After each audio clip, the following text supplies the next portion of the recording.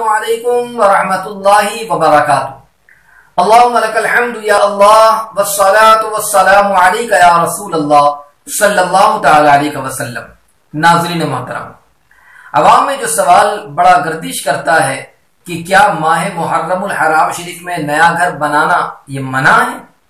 فتح فقی ملت کے اندر اس کا جواب یوں دیا گیا کہ محرم ہو یا سفر، کسی بھی مہینے کے اندر نیا گھر بنانا یہ منع نہیں ہے۔ بلکہ ہر مہینہ، ہر تاریخ، ہر دن، کوئی بھی دن ہو اس میں نیا گھر بنانا یہ منع نہیں ہے۔ آپ جس دن بھی چاہیں، جس ہفتہ بھی چاہیں یا جس مہینے میں بھی چاہیں، آپ نیا گھر بنا سکتے ہیں۔ اس میں کسی قسم کی کوئی ممانعات نہیں ہے۔ اس لیے دینی تعلیم کو حاصل کرتے رہیں اور اس پیغام کو عام کریں۔ اللہ رب العزت ہم تمام کو دینی تعلیم کو سیکھنے کی توفیق عطا فرمائے۔ آمین۔ السلام علیکم۔